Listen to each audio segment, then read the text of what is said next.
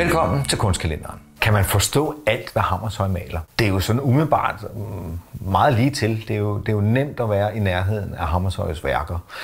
Tidligere kunsthistorien var det fineste, man kunne lave. Det var jo historiemaleriet, hvor man ligesom lavede en billedgendækning af en mytologisk eller religiøs fortælling. Men det er jo ikke tilfældet hos Hammershøj. Eller er det?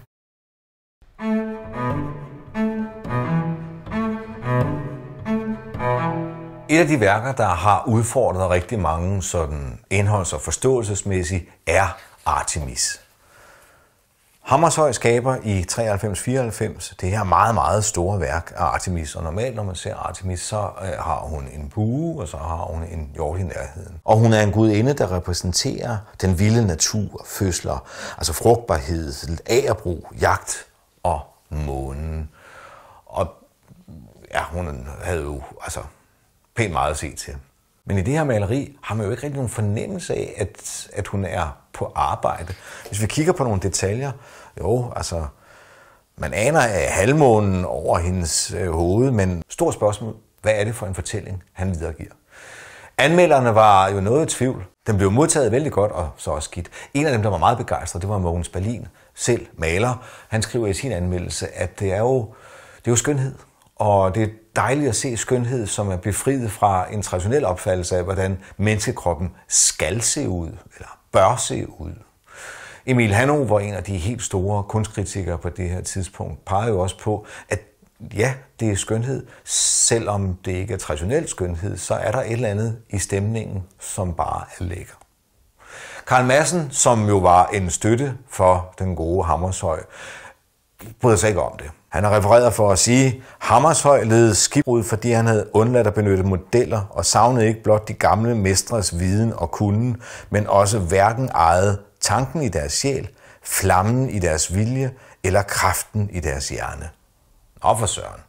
Og det er rigtigt, at i forhold til traditionelle tilgange til Artemis, så er hun jo altså noget anderledes i udformning. Hvad er det for en fortælling?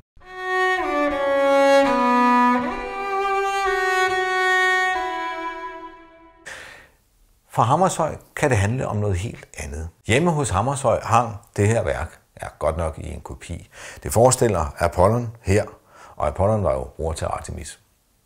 Ja, men der er jo noget i nøgenheden, som måske kunne indikere, at det kunne være interessant at, at arbejde med på en anden måde, hive det ud af en fortælling. Hammershøj er på et tidspunkt i Berlin og ser det her værk af Pan. Og der har vi jo halvmånen heroppe, og der er jo også noget af, af ballerne der, som kunne være en inspiration.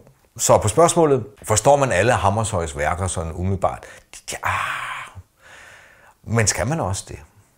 Et andet eksempel er Job. Det her det er en skitse til Job, og det her er en noget overbelyst version af Job, som jo stadigvæk findes, men den er meget, meget mørk. Man skal virkelig stå længe om en rigtig vinkling for at, at kunne se Job i maleriet. Historien om Job er jo ret interessant. Selve navnet betyder, hvor er far? Og historien om Job handler jo om en person, som har alt og, og mister alt og, og får så alt igen, men peger på lidelse, at mennesket ikke kan undgå lidelse, selvom man overholder alle de regler, der kan være. At lidelse øh, jo sådan set ikke er et spørgsmål om straf for synd, men er noget, som rigtig mange må leve med. I begge de her eksempler har man en fornemmelse af, at Hammershøj frisætter begge figurer for deres normale kontekst, fra deres normale omgivelser, for den måde, vi opfatter tingene på.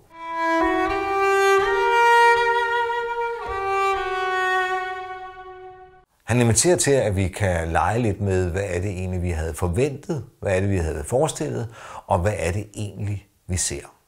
Der er mange kunstnere op igennem historien, som arbejder med at frisætte figurerne fra en kontekst til en anden. Og et nyere eksempel er Per Kirkeby, der med et romantisk billede jo har sakset og lavet skabeloner fra populære tidsskrifter og pornohæfter, jeg ved ikke hvad. Så de er frisat fra deres normale fortælling og giver også plads til at skabe nye.